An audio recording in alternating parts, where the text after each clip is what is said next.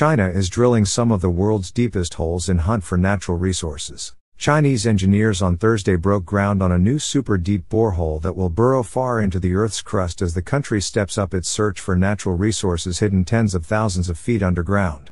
The hole will eventually reach 10,520 meters, 34,514 feet, into the ground at the Sichuan Basin in southwest China, according to state run news agency Xinhua. The region is a major area for gas production, and engineers expected to find a natural gas reserve there, the report said. The announcement came just weeks after China began drilling another super deep borehole, which is slated to extend even further into the earth with a planned depth of 11,100 meter, 36,417 feet. That project is located at the Tarim Basin in China's northwest autonomous region of Xinjiang. If completed, they would be among two of the deepest human made boreholes in the world. However, they would not be deepest. That record currently lies with the now defunct Kola Super Deep borehole in northwest Russia, a Soviet era scientific drilling project that took 20 years to complete and went to 12,262 meters, 40,229 feet.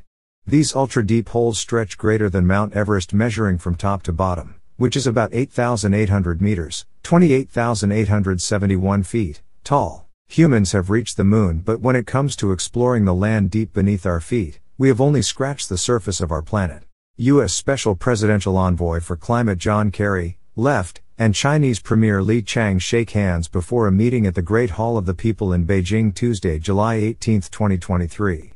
Xi says China will follow its own carbon reduction path as U.S. climate envoy Kerry meets top officials in Beijing. Drilling deep allows scientists to learn more about how the Earth was formed with the crust acting like a geological timeline of or world's formation. But there are also strong commercial incentives, tapping into potentially lucrative energy reserves buried deep below. Both the companies involved in the Chinese boreholes are major state owned oil conglomerates.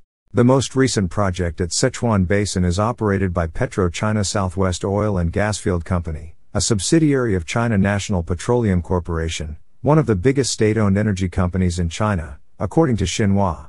Painting it as a move of great significance, the state